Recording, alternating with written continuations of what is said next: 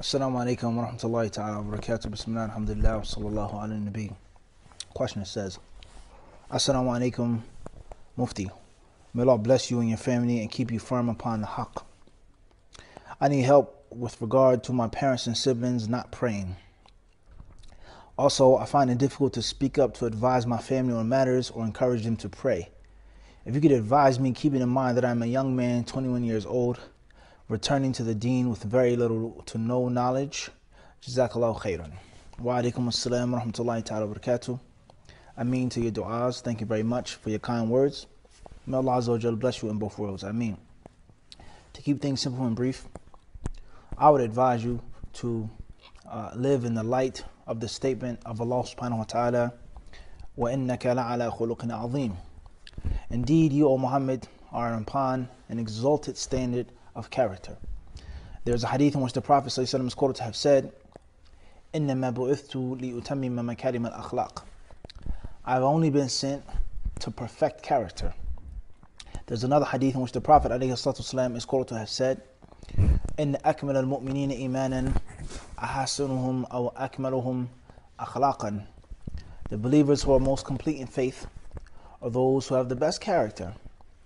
And there hadith after hadith, hadith after hadith, oh, so many hadiths with regards to the virtue of good character.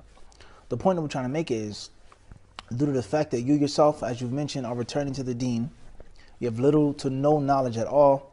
I personally feel the best way of calling them, advising them, and helping them out is leading by example and showing your family members through your physical character the power of Islam, the beauty of Islam, the perfection of the deen how it makes you a good son, a good brother, a good uncle, a good husband, a good employer, a good employee.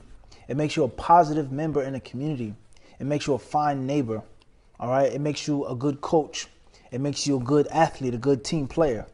So lead by example. Show the people the beauty of what has been placed in your heart by Allah's permission through your character.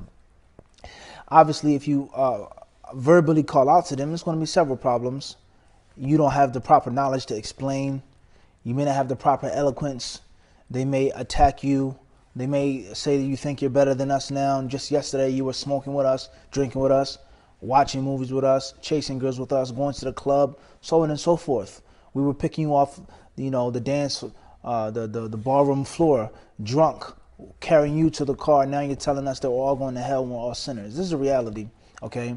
So oftentimes, the action is far louder than the actual word. So lead by example. Make sure that you make your prayers on time. Make sure that you're kind, you're humble, you're brave, you're you have all of the good character of Islam and manifest the aqidah of Islam, the ibadah of Islam, everything from Islam in your character. And then as time goes on, bidnillah ta'ala, continue to learn yourself, continue to study, continue to take knowledge from the proper sources, and gradually, bidnillah ta'ala, piece by piece, build your pyramid of knowledge, inshallah ta'ala and you have the opportunity to talk to your little brother, or the opportunity to sit and have a, a, a cup of cappuccino with your mother, just express yourself to them and tell them what you've learned and share things with them. Don't holler at them, all right? Don't berate them, don't badger them, don't harass them and hunt them down. As many people say, the religious police. Just be a good son, good brother, okay? Be a good cousin, inshallah ta'ala. If you have the ability to advise verbally, advise verbally. If you can't, then at least advise with your character, lead a good example. And oftentimes we make a mistake by uh, preaching to people without practicing properly. All right. Or we forget that just yesterday we were misguided. Just yesterday we were upon falsehood and now uh, we reach some type of guidance by Allah's help and His permission, and then everyone else is going to hell. That's a mistake. And people are going to look for that and they're going to use that to throw in your path to make you slip and trip up the night. So avoid that. Have good character.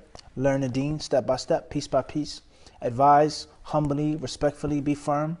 As time goes on with gradual progression, with Allah subhanahu wa ta'ala is our success. You cannot guide those people that Allah has not intended to guide. Just be a good example for them. Wallahu alam, that's my advice, and I'll pray for you. Be the nice subhanahu wa ta'ala.